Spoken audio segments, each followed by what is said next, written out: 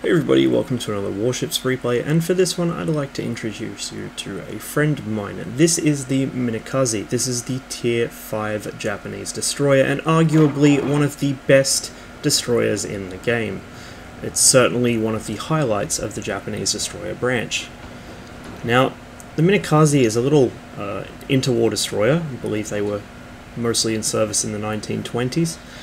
It's one of the fastest ships currently in the game. It has a top speed of about 39 knots. It's incredibly maneuverable and responds to controls instantly. It carries four single mount guns. I believe they're 120mm or so. Um, they're not very good. And then, of course, you've got the torpedoes. It carries three twin tube launchers, which can fire torps um, of two sorts the stock torpedoes have a 7 kilometer range and about a 70 knot top speed. They come over from the Isokaze, uh, as you may have seen in my previous videos in that destroyer. And then the upgrade, inverted commas, torpedoes are 10 kilometer range, but they lose about um, 10 or 11 knots of speed. Now, personally, I would say to stick with the speed over the range. It's a lot more useful. Um, you won't be spotted until you're within 6.1 kilometers of enemy ships, so 7 kilometers still gives you plenty of room to play with.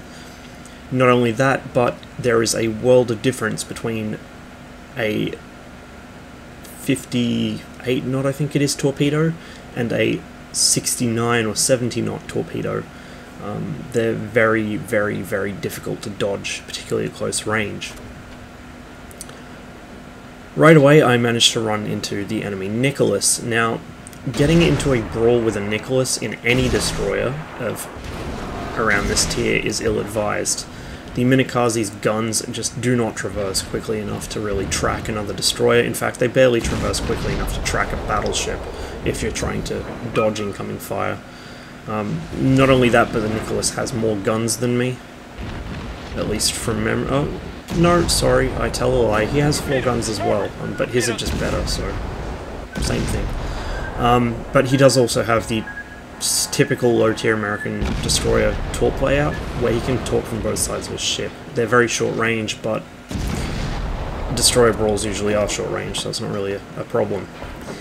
I disengage as quickly as I can. Here you can see me popping smoke and boost. The reason I'm popping smoke isn't to try and hide from the battleships in front of me, it's to try and hide from the Nicholas behind me, as he's the one that's spotting me. You'll also notice my detection meter there is flicking on and off. Now this was actually mentioned um, in a video that Jingles did, so I'm going to assume that you haven't seen that one. If you have, then you already know why it's happening, but the reason it flicks on and off and I get spotted and unspotted, spotted and unspotted is because I'm going at full speed. The reason um, that that's been happening is because smoke screens in the game are put out as like a blip. You know, every every X amount of seconds, blip, blip, blip, and then the smoke fills uh, in that blip. And basically what's happening is you're outrunning each pulse of smoke if you're going at top speed. So if you want to effectively hide in your own smoke, you need to go slowly. Not necessarily crawl or stop or reverse into it, but you just need to slow the fuck down. Um, which is counterintuitive, and it is something that kind of is difficult to uh, to keep in mind when you're being shot at, but that's how it works. Anyway, I've managed to claim my first victim, that enemy battleship pretty much just floated straight into my torps. And I'm already set up for a second run at the guy behind him.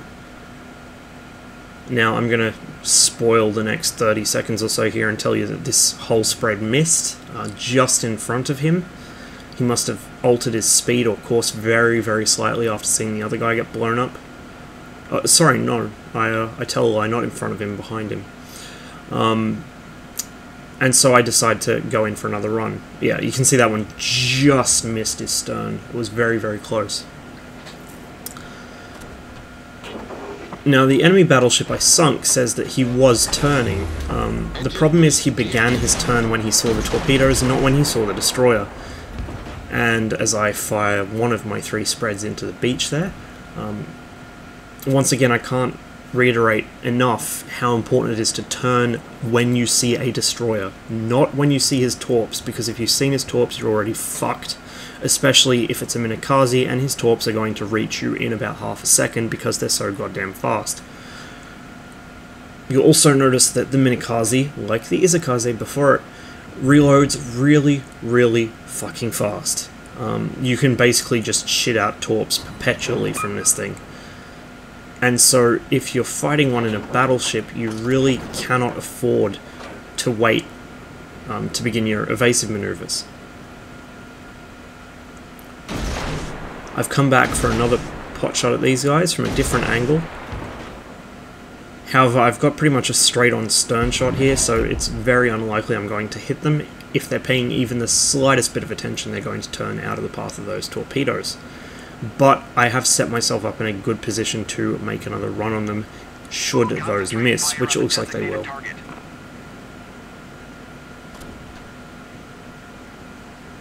Now what makes the Minekaze so good and so popular is the fast reload of the torpedoes combined with their fast speed, decent range, and its agility. It makes it just the perfect ambush destroyer. At this tier, um, you have a really solid torpedo broadside, um, for lack of a better term. It puts out a lot of damage very quickly. Uh, obviously, if you're bottom tier, you may not be able to dominate so easily, but it's still a pretty respectable armament and you've got it in one of the most mobile packages in the game. There are a handful of destroyers which compete with the Minekaze for speed. And so it makes it just a really fun little thing to play. Um, you know, just like there are fun tanks in, in World Tanks in Tier 5 that people like to go back to over and over again, this is going to be a keeper. Um, the Mutsuki afterwards is not really an upgrade in any particular way. It's basically just a Minekaze with shittier torpedoes, um, but more of them.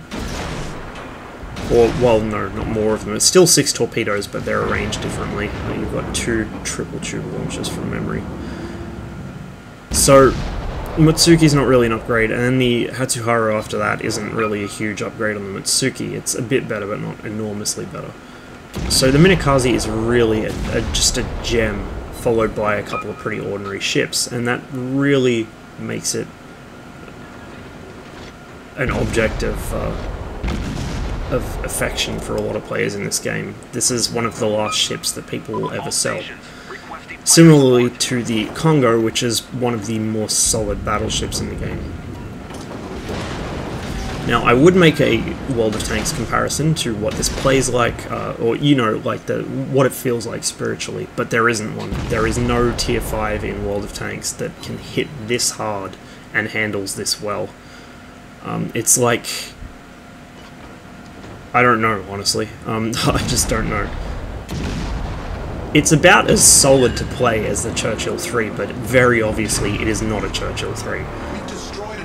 Down goes yet another battleship for my third victim. And you can see how easy the Minekaze makes this look. It's just a fantastic little ship.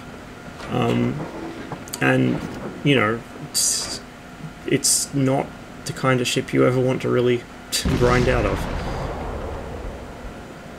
So keep the Minekaze once you actually finish and grind it out get an extra slot to continue grinding up the tree, but this is the keeper from the Japanese destroyer line.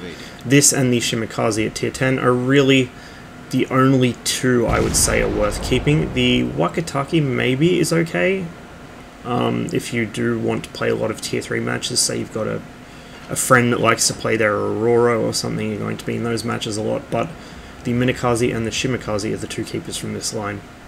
The rest are either completely mediocre or really just don't uh, differentiate themselves enough to be worth keeping.